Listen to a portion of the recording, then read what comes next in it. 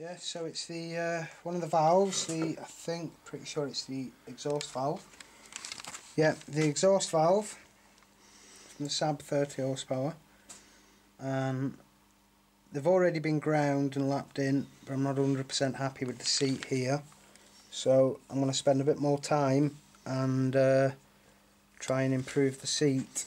Okay, so what have you done? What have you put around there? Basically, fine grinding paste. What What is the paste called and what does it do? It doesn't matter. What would it be called in the UK? Uh, in the UK, it's just literally just grinding or lapping paste. Good. Uh, and it's just grease and um, Carborundum. I think it's carborundum in, in it. Yeah. Um, Yeah. Comes in fine and coarse. So you can sort of see the difference in the textures. Yep. Um, I've already gone over it with the coarse, and now I'm just going to use the fine just to finish off That the seat seats. there looks pristine. Now tell me, uh, what exactly do the valves do?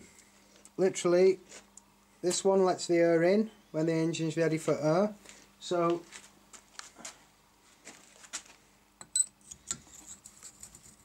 let me just clean that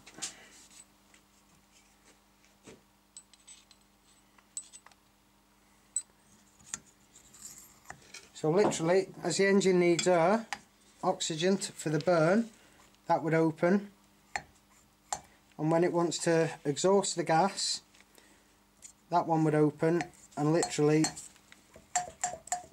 With that, they would be okay. dancing So like that. uh, perhaps you can explain on this head a little bit clearer. Yeah, I'll come round the other side yeah, yeah. so you can see it from the side. Can no, you need to. Yeah, that's him. If I bring him here. Got him. Yeah.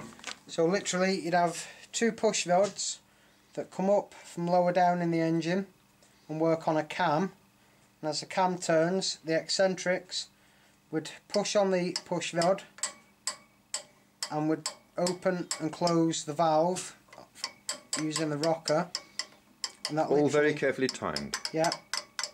And they would literally rock like that. And press the valves open. Can you turn him upside down so we Uh, can just see? Doesn't need to press, but Yeah. so they sit there. So those are the same again. Yeah, same again.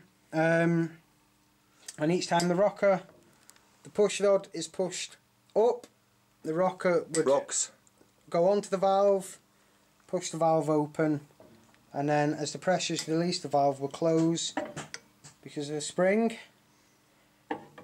Right. So um, these holes are for. You've got the head bolt holes, Yeah. the four there. Um, that wipe. And the others, one for the injector nozzle to come through and fire the fuel. There's one here, I think it's that one for the water jacket. On this engine the water jacket runs through here. Right.